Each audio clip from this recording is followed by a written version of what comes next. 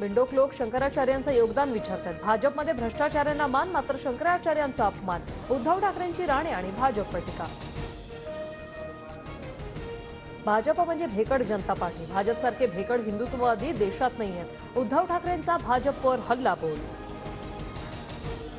देशात एक निशाण हे तिरंग तिरंगा असेल. भाजपचं फडकं नाही तर प्रधान ईव्हीएम मधून आलेला नाही जनतेनं निवडून आणलेला असेल. उद्धव ठाकरेंचा भाजपसह मोदींवर निशाणा. भगवे वस्त्र रुद्राक्ष माळा घालून बाळासाहेब होता येत नाही. आमचे वाघ एकाच ते म्हणजे बाळासाहेब. मुख्यमंत्री एकनाथ शिंदेचा उद्धव ठाकरेंवर हल्ला बोल बिहारचे माजी मुख्यमंत्री कर्पुरी ठाकूर यांना मरणोत्तर भारतरत्न पुरस्कार शंभराव्या जयंतीच्या पूर्वसंध्येला कर्पुरी ठाकूर यांना भारतरत्न जाहीर. शिवसेना पळवणाऱ्या वालीचा राजकीय वध होणारच. नाशिकच्या मेळाव्यात ठाकरेंचा हल्लाबोल तर राम कोण रावण कोण हे सर्वांना ठाऊक असल्याचं शिंदेचं प्रत्युत्तर.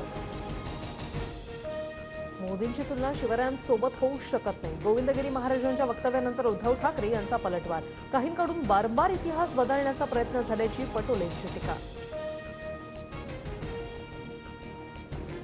तीन दिवसांच्या उपवासानंतर शिवराय संन्यास घेण्याच्या विचारात होते. अयोध्येत गोविंदगिरींचं दुसरं विधान वादात. सहकाऱ्यांच्या समजुतीनंतर शिवरायांनी संन्यास घेण्याचा निर्णय बदलल्याचाही केला दावा. मराठा आरक्षणासंदर्भातील किरटील याचिकेवर सरन्यायाधीशांसमोर उद्या सुनावणी.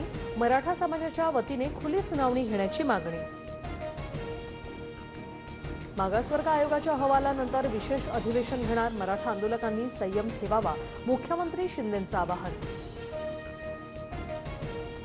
पुण्याच्या रांजणगावात मनोज जरांगेंचं जंगी स्वागत तर मराठा समाजासाठी गोळ्या झेलायला तयार मात्र तसा प्रयोग झाल्यास सरकारचा विषय कायमचा संपला जरांगेंचा इशारा.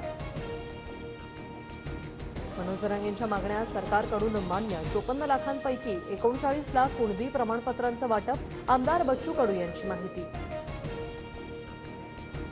निवडणूक आयोगाचं पत्र व्हायरल लोकसभा निवडणुकीच्या तारखेचा पत्रात उल्लेख. प्रशासनाच्या तयारीसाठी सोळा एप्रिलची तारीख व्हायरल पत्रावर निवडणूक आयोगाचं स्पष्टीकरण. प्राणप्रतिष्ठेनंतर अयोध्येत रामभक्तांची अलोट गर्दी. दिवसभरात पाच लाख भाविकांनी घेतलं दर्शन. सुरक्षेसाठी पा- आठ हजार पोलीस तैनात.